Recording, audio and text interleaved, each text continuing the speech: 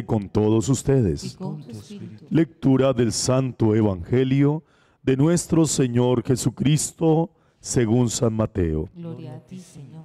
En aquel tiempo dijo Jesús a sus discípulos, no atesoren para ustedes tesoros en la tierra, donde la polilla y la carcoma lo rodean, lo roen, y donde los ladrones abren boquetes y lo roban. Háganse tesoros en el cielo, donde no hay polilla ni carcoma que lo roen, ni ladrones que abren boquetes y roben, porque donde está tu, tesoro, allí estará tu corazón. La lámpara del cuerpo es el ojo. Si tu ojo está sano, tu cuerpo entero tendrá luz. Pero si tu ojo está enfermo, tu cuerpo entero estará a oscuras. Si pues la luz que hay en ti está oscura, ¿cuánta será la oscuridad? Palabra del Señor. Bella palabra hoy que escuchamos en el Evangelio. Sin embargo, es interesante cómo Pablo en, los, la carta a los Corintios, pues se está desahogando un poquito.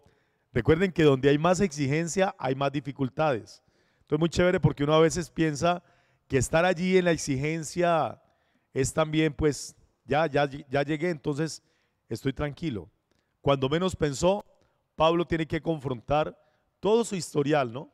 Empieza a contar lo que ha vivido, las palizas que le han dado, la persecución. Es muy interesante porque la vida cristiana también tiene altibajos humanos. Y es muy importante cuando uno hace una recapitulación de la fe y ver el triunfo de nuestro Señor en nuestra vida. Y cuando uno da testimonio de la fe, es lo que hay que hacer. Recapitular muchas cosas que uno dice, la fe, la fe y la fe. Siempre uno va avanzando. Muchas veces tenemos pena de hablar de nuestro pasado. Y a veces hay que abrir la página y decir, ya me acuerdo en el capítulo 26 de mi vida. ¿Qué pasó a los 25 años? ¿Qué pasó a los 35? Hay etapas donde uno dice, aquí fue un acto importante de fe, porque pude experimentar la gracia y la misericordia de Dios. Pero también uno tiene que decir en el capítulo 38, me alejé de Dios. Uno también tiene que reconocer en qué momentos uno se dejó llevar por las cosas del mundo que son fascinantes. Siempre las cosas del mundo atraen mucho. Recuerden el hijo pródigo. Me voy y pensó que todo era borrachera y mujeres y pasarla bueno. Y cuando menos pensó, en la inmunda, como dicen los muchachos.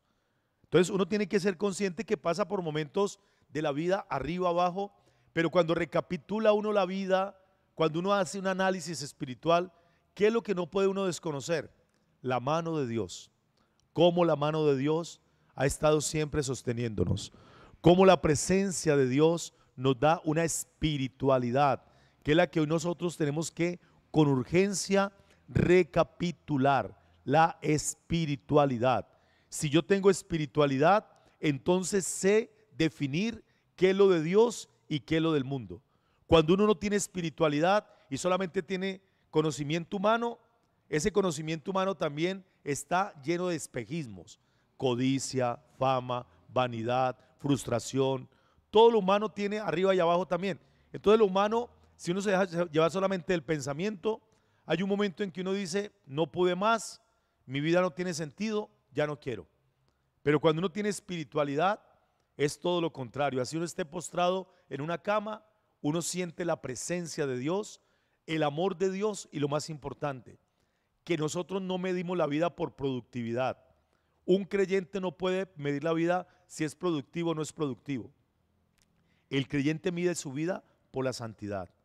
Yo agrado a Dios, ofrezco esto a Dios y vivo en la gracia de Dios. Eso es lo que Pablo hoy en la carta a los Corintios nos quiere dejar de manifiesto. Que uno sí puede buscar de Dios, agradar a Dios y mostrar siempre la gloria de Dios. como En lo normal y en lo ordinario de la vida. Tan bueno la gente famosa. Pero ¿cuántos famosos cuando termina el concierto terminan deprimidos? Se ven en, el espejo y este no soy yo porque yo quiero ser otro. Y hay gente que no es famosa y también vive lo mismo. Yo por qué tengo el pelo así, yo por qué tengo esto así. Todos los días se está viendo lo negativo.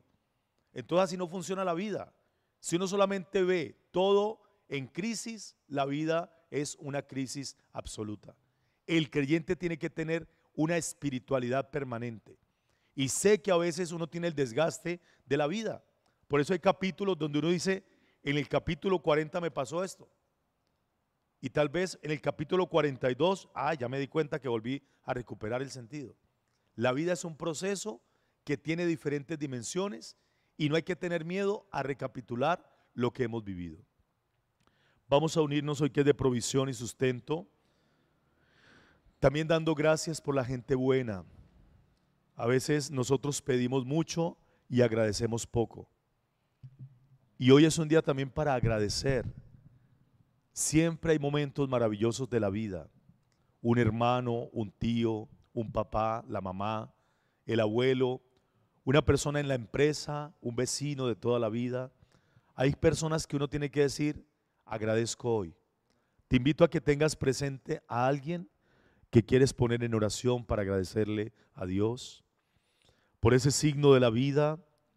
Y si esa persona está hospitalizada, también ofrece tu plegaria por esa persona. Que Dios recompense en bendición el bien que se ha hecho. No te exigimos nada, Señor, solamente te pedimos tu bendición. Reconocemos tantos momentos maravillosos, pero el desgaste de la vida nos hace sentir la pesadez del tiempo. Ayúdanos a tener paz, alivio. Que en este viernes también tu provisión llegue, donde falta la salud, el trabajo, donde es necesario reconciliar la vida interior. Tu provisión se manifieste también en aquellos que se sienten solos, cansados por el tiempo. Que nunca nos falte tu provisión en la vida espiritual, en la vida material. Que las obras de caridad, muchas guiadas por hombres y mujeres en la sencillez de todos los días, te las presentamos hoy. Todas las fundaciones que trabajan por los niños, por el adulto mayor. Te pedimos por aquellos que trabajan ayudando a los jóvenes a que puedan rehabilitar su vida para seguir adelante en el camino humano. Te entregamos también a las madres comunitarias que todos los días con su trabajo dan de comer a tantos en su barrio. Que tu provisión llegue al empresario que en este momento está angustiado porque las finanzas de la empresa no dan para sostener una nómina. Tu gracia, Señor, se manifiesta en las manos de tantos obreros que todos los días quieren ofrecerte el trabajo. Que tu provisión también se manifieste en cada hogar, en cada familia, en los alimentos que recibimos del campo, en los alimentos que compartimos en la mesa. Que tu provisión se manifieste en cada uno de los países que en este momento se eleva esta plegaria, en México, Perú, Ecuador, Argentina, en Centroamérica, Panamá, aquí en Colombia, Cali, donde hemos tenido también dolor, sufrimiento, tristezas.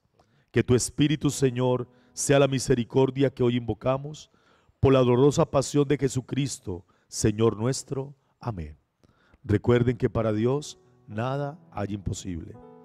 Y cuando, cuando haya un momento grave, digan una palabra sencilla.